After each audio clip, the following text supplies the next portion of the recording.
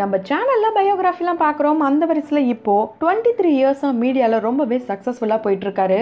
அது மட்டும் இல்லாமல் இப்போ இருக்க ஸ்டூடெண்ட்ஸ் அண்ட் யங்ஸ்டர்ஸ்க்கு மோட்டிவேஷனல் ஸ்பீக்கர் அண்ட் இன்ஸ்பைரிங் பர்சனாக வளம் வந்துட்டுருக்க நீயா நானா கோபிநாத் அவர்கள் யார்? அவருடைய ஃபேமிலி அண்ட் கெரியர் இது எல்லாத்தையுமே வாங்க இந்த வீடியோக்குள்ளே பார்க்கலாம். டிவியில் கோர்ட்டுக்கு பேர் போன ஒருத்தர் யாருன்னா அது கண்டிப்பாக கோபிநாத் அவர்களை தான் சொல்லுவாங்க. ஏன்னா அவரை செல்லமா? கோட் கோபி அப்படின்னு கூப்பிடுவாங்க. இவரை நீயா நானா கோபிநாத்னு கூட கூப்பிடுவாங்க. ஆனால் இவருடைய ரியல் நேம் கோபிநாத் சந்திரன். இவர் ஜூலை நாலு ஆயிரத்தி தொள்ளாயிரத்தி எழுபத்தி அஞ்சு தஞ்சாவூர் டிஸ்ட்ரிக்ட் களத்தூரில் பிறந்திருக்காரு. இவருடைய அப்பா சந்திரன் அவர்களும் ஒரு நடிகர் தான். அவர் சமீபத்தில் தான் தவறிட்டாரு. அம்மா குமுதகம் இவருக்கு துர்கா அப்படின்ற மனைவி இருக்காங்க வெண்பான்ற மகளும் இருக்காங்க. இவருக்கு சரவணன் அப்படின்ற ஒரு அண்ணனும் இருக்காரு. இவருடைய அண்ணா ஒரு சினிமாட்டோகிராஃபரா இருக்காரு. இவருடைய அப்பா சந்திரன் அவர்களும் ரொம்பவே கஷ்டப்பட்டு தான் இந்த மீடியாவுக்கும் வந்திருக்காரு. நிறைய சீரியல்ஸும் பண்ணியிருக்காரு. அப்பா மாதிரி யார் இந்த மீடியாவுக்கு ஃபஸ்ட்டு போக போகிறா அப்படின்ற போட்டி அண்ணன் தம்பி இவங்க ரெண்டு பேருக்குள்ளேயுமே இருந்திருக்கு. அதனால தான் இவருடைய அண்ணா முறைப்படி மீடியாவுக்கு சம்மந்தப்பட்ட படிப்பை படித்து டேரெக்டாக மீடியாக்குள்ளே வந்தாராம்.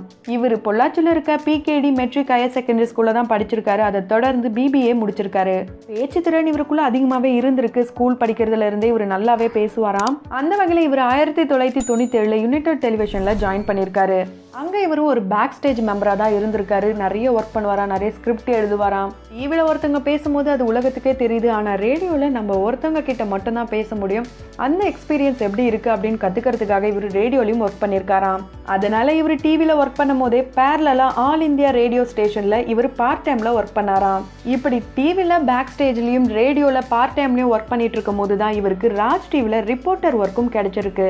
இந்த ஒர்க் அவருக்கு ரொம்பவே பிடிச்சதாங்க. ஏன்னா ஃபீல்டு ஒர்க் அப்படின்னும் போது நிறைய பேரை பார்க்கணும் பேசணும் நிறைய விஷயங்களை இதில் இருந்து கற்றுக்கிட்டாராம் அப்போலேருந்து இவருக்கு கிடைக்கிற ஒவ்வொரு அனுபவங்களையும் இவர் சேகரிக்க ஆரம்பிச்சாராம். இந்த வகையில் இவர் ராஜ் டிவியை தொடர்ந்து Jaya TV NDTV CNBC TV eighteen இது போல பல சேனல்ஸில் ஒர்க் பண்ணியிருக்காராம். பொதுவாகவே நம்ம எல்லாருக்குமே ஒரு எண்ணம் இருக்கும். நம்ம எங்க வேலை பார்த்தாலும் சேலரியும் தாண்டி ஒரு அங்கீகாரம்ன்ற ஒரு விஷயம் கிடைக்கிற வரைக்கும் நம்ம போராடிக்கிட்டே தான் இருப்போம். அந்த மாதிரி தான் இவருக்கும் பிடிச்ச வேலையை செஞ்சிருந்தாலும் அங்கீகாரன்ற ஒரு விஷயம் இவருக்கு கொஞ்சம் தாமதமாக தான் கிடைச்சிருக்கு. ஏன்னா பல சேனல்ஸில் ஒர்க் பண்ணதுக்கு அப்புறம் தான் இவர் ஒரு சிறந்த ரிப்போர்ட்டர் அப்படின்ற பேரும் வந்திருக்கு. அதுவும் அமெரிக்காலேயே அவார்ட் கொடுத்துருக்காங்க. இப்படி போயிட்டு இருக்கும் போது தான் இவருக்கு ரெண்டாயிரத்தி ஆறில் விஜய் டிவியில் மக்கள் யார் பக்கம்ன்ற ஷோவை ஆங்கர் பண்ணார். இப்போ நீயா நானா ப்ரோக்ராமில் எல்லா தலைப்புகளுமே எடுக்கிறாங்க. ஆனால் இது full and full political analysis programme தான். இதில் இவருடைய ஆங்கரிங்கை பார்த்த விஜய் டிவி தொடர்ந்து இவருக்கு வாய்ப்புகளை கொடுக்க ஆரம்பித்தாங்க அந்த வகையில் சிகரம் தொட்ட மனிதன் அப்படின்ற ஷோவை ஆங்கரிங் பண்ணார். அதுக்கப்புறம் இவருடைய பேருக்கு முன்னாடி நீயா நானா இந்த பேர் வர காரணமாக இருந்த ஷோவை ரெண்டாயிரத்தி பதினாறில் லான்ச் பண்ணாங்க. அப்போலேருந்து இப்போ வரைக்கும் இந்த ஷோவை ரொம்பவே சக்ஸஸ்ஃபுல்லாக கொண்டு போயிட்டு இருக்காரு இந்த ஷோ இவருடைய கெரியருக்கு மட்டும் திருப்பு முனையா இல்லையாங்க? இவருடைய பர்சனல் லைஃப்லையும் நிறைய சேஞ்சஸை கொண்டு வந்துதான். இவர் ஒரு மோட்டிவேஷனல் ஸ்பீக்கராக இருக்காருன்னா அதுக்கு காரணம் இந்த ஷோவில் மற்றவங்க என்ன பேசுகிறாங்க இவர் நிறைய அப்சர்வ் பண்ணுவாராம். வாழ்க்கையில் லேர்னிங் அப்படின்றது ரொம்பவே முக்கியம். அதை நான் இப்போ வரைக்கும் பண்ணுறேன் அப்படின்னு சொல்லியிருக்காரு கோபிநாத் அவர்கள். இந்த சக்ஸஸ்ஃபுல்லான ஷோவை தொடர்ந்து நடந்தது என்ன? என் தேசம் என் மக்கள். இது போல் பல ஷோஸை ஆங்கர் பண்ணியிருக்காரு. வாழ்க்கையில் எதுவுமே கஷ்டப்படாமல் கிடைக்காது. எல்லாமே கஷ்டப்பட்டால் தான் கிடைக்கும். ஆனால் ஒரு விஷயம் என்னென்னா ஸ்ட்ரகிள்ஸை நான் எப்போவுமே கிளைம் பண்ணுறதே கிடையாது. சொல்லப்போனால் என்னுடைய வாழ்க்கையில் நடந்த ஒவ்வொரு பகுதியுமே நான் ரொம்பவே என்ஜாய் பண்ணேன். இங்கே யாருக்கு தான் கஷ்டம் இல்லை யாருக்கு தான் டேலண்ட் இல்லை எல்லாருக்குள்ளேயுமே எல்லாமே இருக்குது ஆனால் நம்ம தான் நமக்கு கஷ்டம் கஷ்டம்னு சொல்கிறோம் ஆனால் மற்றவங்க கஷ்டத்தை கம்பேர் பண்ணும்போது நமக்கெல்லாம் இருக்கிறது ஒரு கஷ்டமா அப்படின்ற ஒரு பெரிய கேள்வியே நமக்குள்ளே வரும்.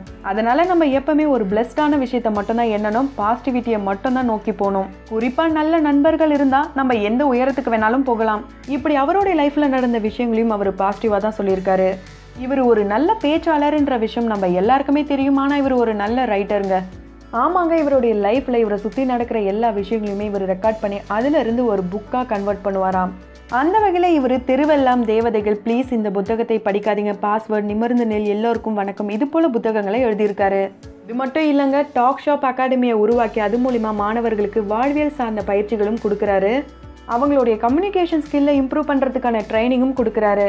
இப்போ இவர் ஒரு மோட்டிவேஷனல் ஸ்பீக்கர் அண்ட் இன்ஸ்பைரிங் பர்சனாக வளம் வந்துட்டுருக்காரு.